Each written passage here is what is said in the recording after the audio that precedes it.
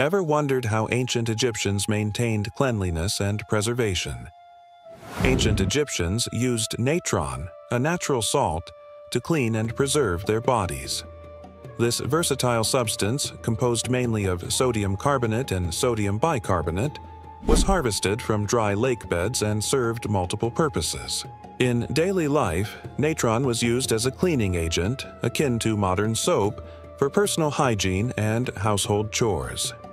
In burial practices, it played a critical role in mummification, drawing moisture out of the body to prevent decay and ensure preservation for the afterlife.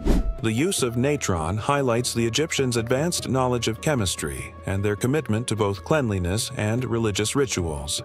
This practice offers a fascinating glimpse into the practical and spiritual dimensions of ancient Egyptian culture. Beyond personal hygiene, natron was also used to deodorize and preserve food, helping to keep meat and fish fresh in the hot Egyptian climate. Its role in everyday life extended to ritual purification, symbolizing purity and divine protection.